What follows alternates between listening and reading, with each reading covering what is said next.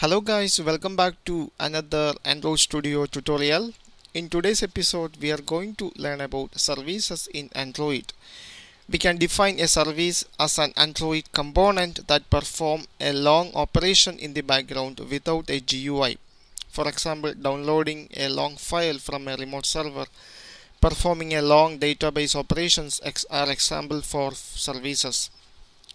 In Android, the services are categorized into two. First one is started service and second one is bound service. So we learn about started service and bound service in two separate videos. So in the first video, we are going to learn about what you mean by a started service. So we can define a service as a started service if a component such as an activity or a fragment start the service by calling the method start service and once the starter service is started it will run in the background indefinitely even if the component that start it is uh, destroyed. So here I am going to create a simple Android application that will demonstrate what you mean by a starter service. So before going to create the application you need to know something about the lifecycle methods of an Android service. So here these are the important lifecycle methods of an Android service. First one is the on start command method, on bind method, on create and on destroy method. The Android system will call the on start command method if the service is a started service and the Android system will call the on bind method if the service is a bind service and before going to and before call the on start command or on bind method the Android system will call the onCreate method. You can place the initial setup for the service on the onCreate method and the onDestroy method. The Android system will call the onDestroy method before destroy the service. Okay. So if the service is a started service, that means a component such as an activity or a fragment start the service by using the start service method. The Android system will call the start on start command method this is for the started service and this method is for bind service. And if the service is a started service you have to return null from the on bind method. And you must override the on bind method in all the services. You have to override this method every time. Okay. So now I am going to create a simple Android application that that will demonstrate what you mean by a started service. Okay so here in this application here I am going to add two buttons for starting and stopping the service. So first add a button. This is for start the service. Add another button for stopping the service. Go to the XML version.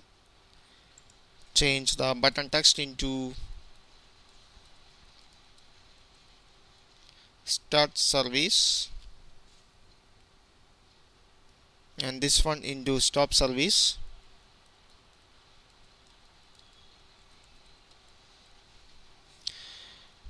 Now add an on click method for the first button.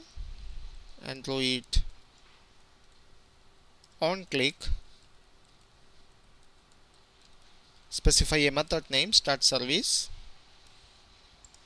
and for the second button specify another method android on click. The method name is stop service. Okay. Now we have to define these two methods in main activity.java file. I copy this method name go to the main activity.java there is no need of an options menu. Remove these unwanted code segments. Create the first method public void start service.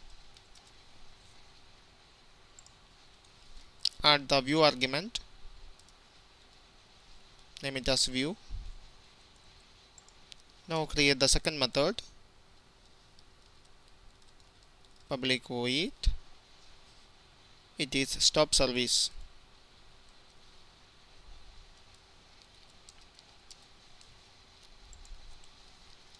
also add the view argument for this method. Okay. So whenever the user click the start button we have it to start the service. And when he click the stop service method button we have it to stop the service. So first we have to create the service. So here I'm going to create a service. For that I have to create a new Java class. So expand the package name right click the package and create a new Java class. I name the service as my service. And click OK. Now here we got a new class called my service. So for creating a service you have to extend service or any of the subclasses of service class. So here I'm going to extend the service class. So this class extends service class okay now you have to override lifecycle methods for the service these are the lifecycle methods on start command, on bind, on create and on destroy. So the only one necessary method is the on bind method. You must override this method. So first here I am going to override the on bind method. This is the only one method that is necessary. Okay. So here I am going to create a started service. Actually this method is for a bind service. In this case there is no need for this method. So we have to return null from this method because this is not a bind service. This is a started service. Okay.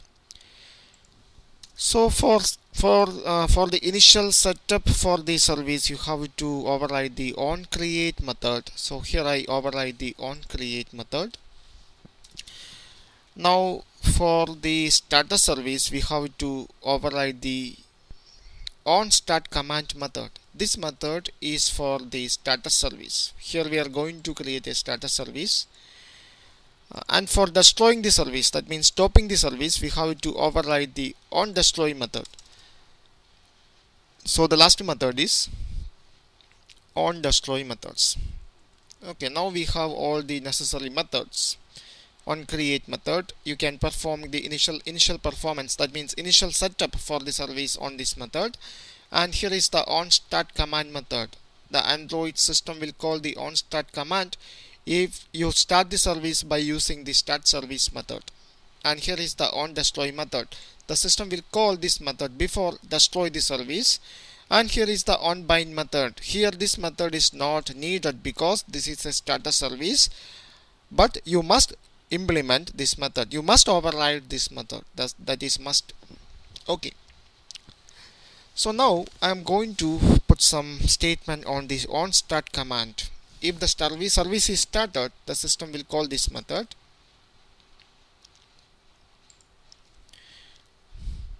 And here I am going to display some message using a toast.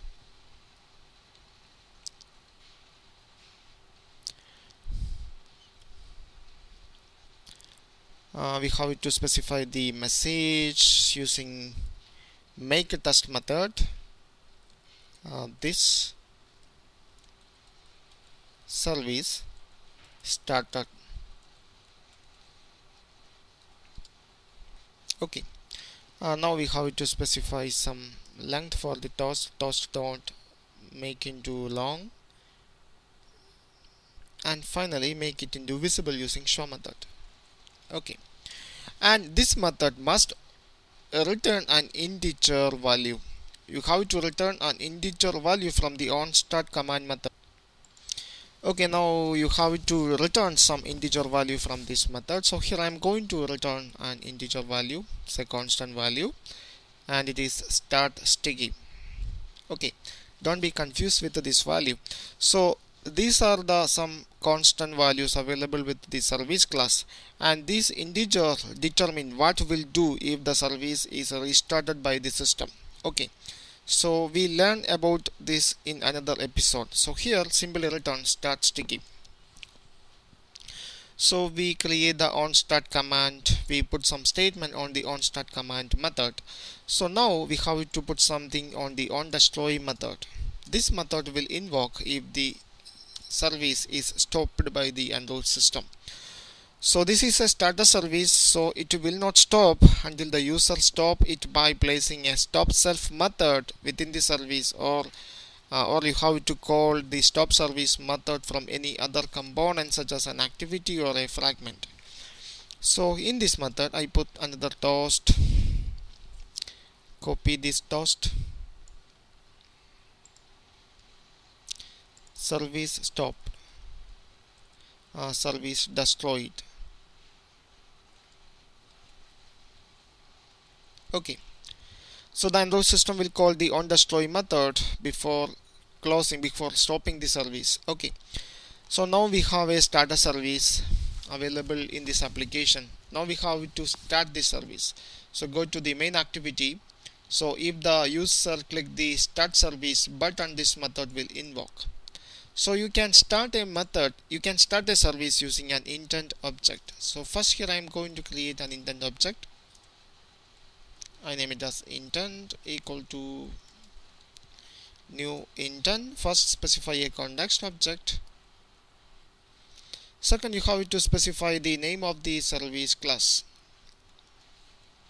So here the service class name is my service.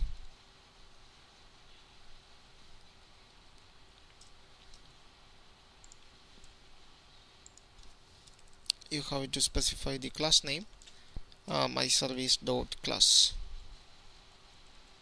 Okay. So now we have to start the service. So you can start the service using the start service method. So I use that method. Start service. And pass the intent object. Pass the intent object. This will start the service. Okay so now we have to stop the service. For stopping the service we need the same intent object. Now we have to stop the service. So you have to call the stop service method and pass the same intent object.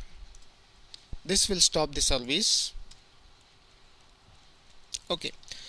And one more thing one another important thing you must do on the manifest file. Open up the android manifest.xml file you have to add a service element within the application element.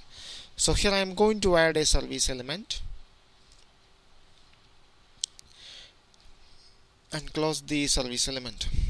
And you have to specify the class name for the service.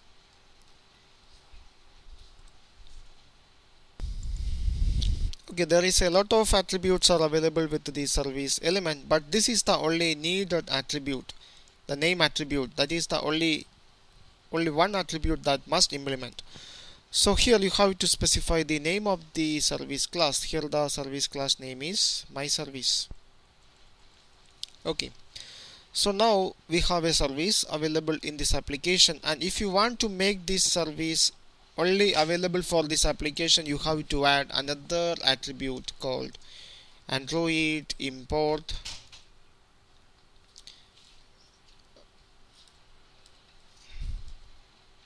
this one android exported and make this one into false. This will make sure that the service is only available for your application.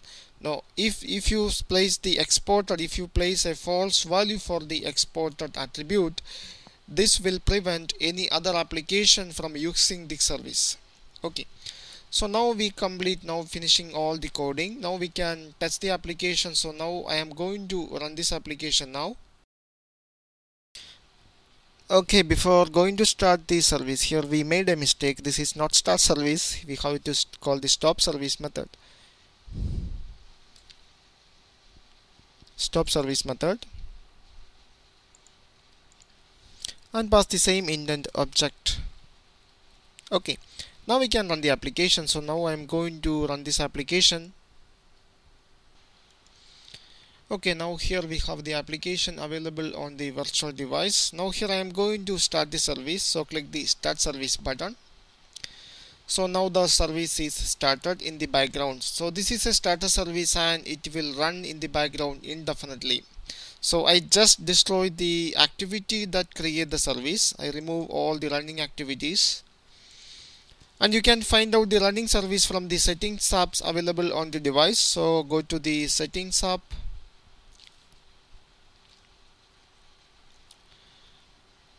uh, go to the apps open apps. Here is the running applications. Open the running applications. And here is the service. This is the application name service demo and one service is running. This means now the service is running in the background indefinitely. So now we have to stop the service. This is a started service once it is started it will run in the background indefinitely. So we have to stop it. So we have to run the same activity again. So I open the same application service demo. Now I have to stop the service. So I click stop service button. This will stop the service. This is a simple started service in Android. I hope you understand these concepts. Thank you for watching. See you in the next episode